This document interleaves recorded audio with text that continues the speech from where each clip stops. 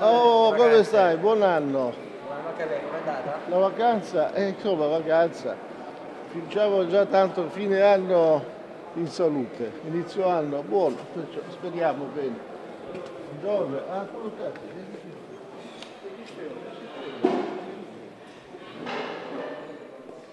Perché siete qua? Cosa c'è? Qualcosa di? Vi aspettate, vi aspettate cose interessanti? Cose clamorose? Ma sentire cosa è successo in Calabria? Certo, perché non leggo i giornali. Ecco, vi faccio vedere una cosa carina. Ecco, vedi, fai lo scoop. I pizzini di Natale.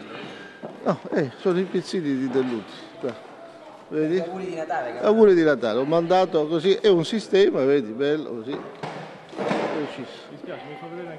Vuole vedere? Visibilmente dimagrito, il senatore Marcello Dell'Utri si presenta in aula alla ripresa dopo la pausa natalizia del processo che lo vede imputato dall'accusa di aver intessuto e mantenuto nel tempo rapporti con Cosa Nostra a scopo politico ed economico.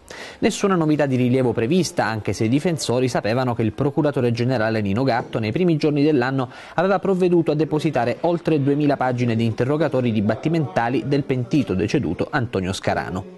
Una grande quantità di materiale che la difesa ha detto di non avere potuto studiare a fondo. Gatto ha invece tranquillizzato gli avvocati San Marco e Mormino. A noi interessano delle parti ben specifiche, ha detto, assicurando che il deposito integrale è avvenuto per completezza.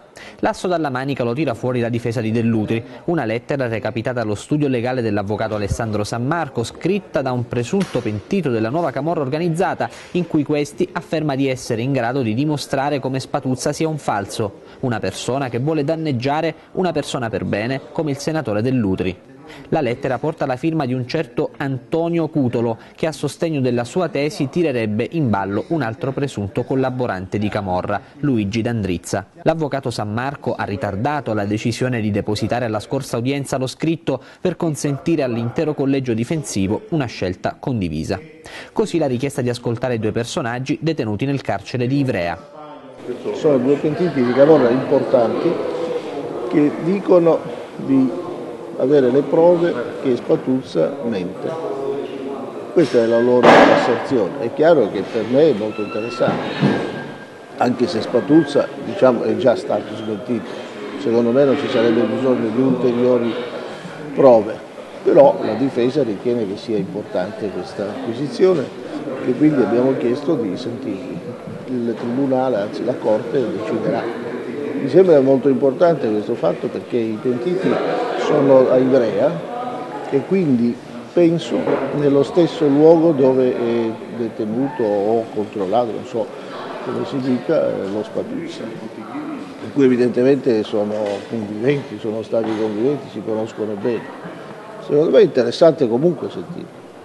Vediamo. Però secondo l'accusa non fornirebbero elementi di spunto tali da insomma, considerare credibile questo tipo di No, l'accusa non non ha detto né poteva dire questo, perché che ne sa. L'accusa ha detto vogliono arrivare al traguardo senza fare i chilometri necessari. Cioè, l'accusa dicono, dice- "Spa- siamo in grado di dimostrare che Spatuzza No, no, no. mente, No, l'accusa non può dimostrare. Ma no, l'accusa non può dimostrare niente. L'accusa dice giustamente, sentiamo prima che dicono e poi li mettiamo, opposta, li facciamo. Ma sì, ma si deve opporre a tutto. che ma dicono. no, no, no, eh, non è così.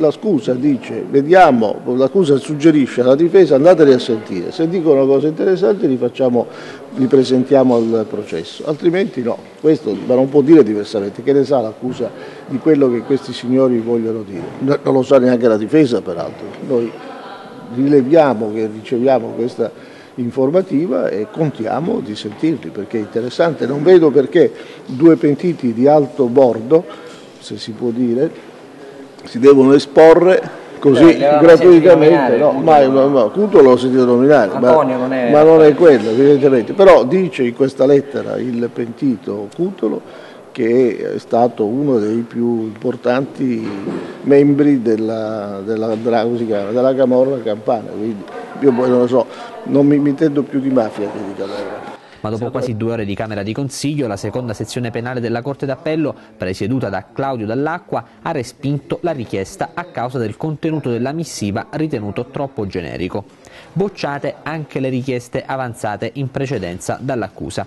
Non saranno ascoltati né il vescovo dell'Aquila né i cappellani delle carceri del capoluogo abruzzese e di Ascoli Piceno, che avrebbero dovuto dimostrare l'attendibilità intrinseca di Gaspare Spatuzza. Disco rosso anche per l'escussione di Pietro Romeo e Giuseppe Ciaramitaro. Nei loro verbali è scritto nei motivi del rifiuto dell'istanza il nome del senatore Dell'Utri non è neppure menzionato. La decisione è il segnale che la Corte ha deciso di spingere verso una definizione in tempi brevi di questo giudizio d'appello, verosimilmente per via di un quadro accusatorio corposo quanto quello di primo grado.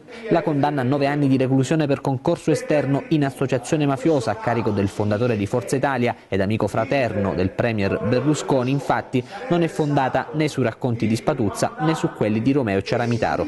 Dal 15 gennaio, data della prossima udienza, sciolta ogni riserva sui verbali di Scarano, potrebbe riprendere la discussione finale, interrotta a novembre con la richiesta di condanna della Procura Generale e le arringhe difensive.